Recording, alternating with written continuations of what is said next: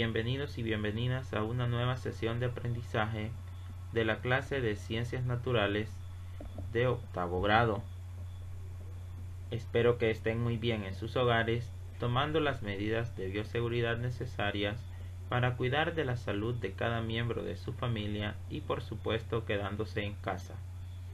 En esta ocasión compartiré con ustedes algunos datos para poder explicarles el tema propiedades de la luz. Saluda el profesor Norlan Maldonado, docente del departamento de Choluteca.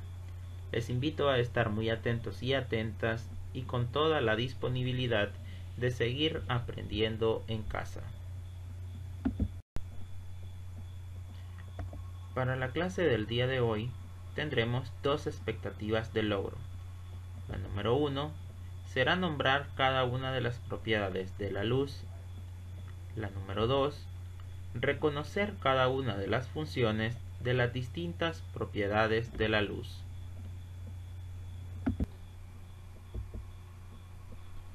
Comenzando con el desarrollo del contenido sobre las propiedades de la luz, realice lo que se le solicita a continuación, siempre con la ayuda de sus padres en casa. Observe la imagen y conteste las siguientes preguntas. ¿Qué observa en la imagen? ¿Cuáles son las propiedades de la luz? ¿Qué podemos decir que es la luz?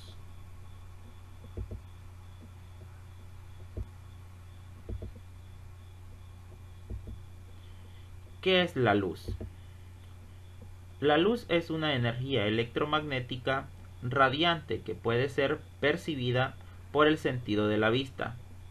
Se trata del rango de radiación del espectro electromagnético.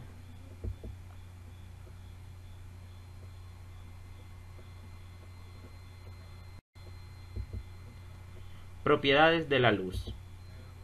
Cuando la luz incide sobre un cuerpo, su comportamiento varía según sea la superficie y constitución de dicho cuerpo y la inclinación de los rayos incidentes dando lugar a los siguientes fenómenos físicos. Absorción, reflexión, transmisión, refracción, dispersión y difracción. Ahora procederemos a definir cada uno de ellos, comenzando por absorción.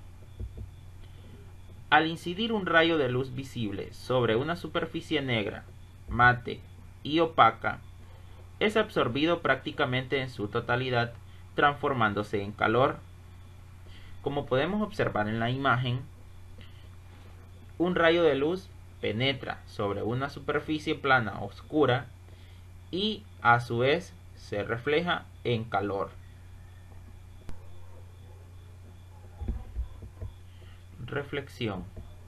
Tenemos dos tipos de reflexión, la reflexión especular y la difusa.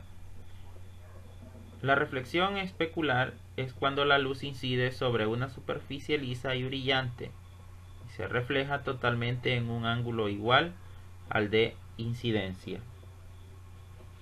En cambio, la reflexión difusa es si la superficie no es del todo lisa y brillante, refleja solo parte de la luz que le llega y además lo hace en todas las direcciones. Transmisión es el fenómeno por el cual la luz puede atravesar objetos no opacos. A su vez se divide en transmisión directa, difusa y selectiva. La transmisión es difusa si en el interior del cuerpo el rayo se dispersa en varias direcciones. La transmisión es directa cuando el haz de luz se desplaza en el nuevo medio íntegramente y de forma lineal. Y existe un tercer tipo de transmisión que es la selectiva, esta ocurre cuando ciertos materiales, vidrios, plásticos o gelatinas coloreadas dejan pasar solo ciertas longitudes de onda y absorben otras. Refracción. Es un fenómeno que ocurre dentro de él de transmisión. Cuando los rayos luminosos inciden oblicuamente sobre un medio transparente o pasan de un medio a otro de distinta densidad, experimentan un cambio de dirección que está en función del ángulo de incidencia. Dispersión. Este fenómeno se produce cuando un rayo de luz compuesta se refracta en algún medio quedando separados sus colores constituyentes. Difracción. Es la desviación de los rayos luminosos cuando inciden sobre el borde de un objeto opaco. El fenómeno es más intenso cuando el borde es más afín. Demostremos reforzando el conocimiento.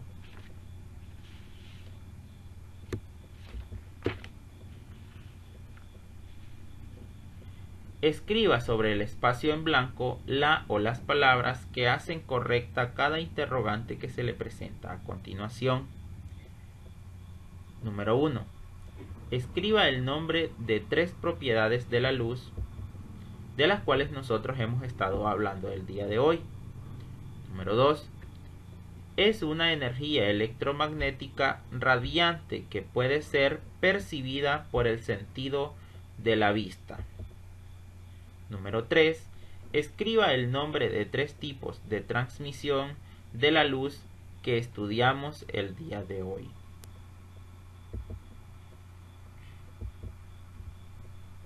valoramos. Escriba en su cuaderno las características de la luz con sus respectivos dibujos.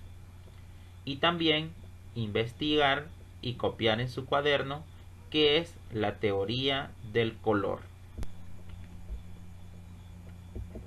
Para finalizar con la clase del día de hoy, quiero despedirme con una imagen. Yo puedo, yo quiero, yo voy a lograrlo. Todos nosotros debemos de ser personas positivas y pensar que podemos lograr, podemos hacer muchas cosas.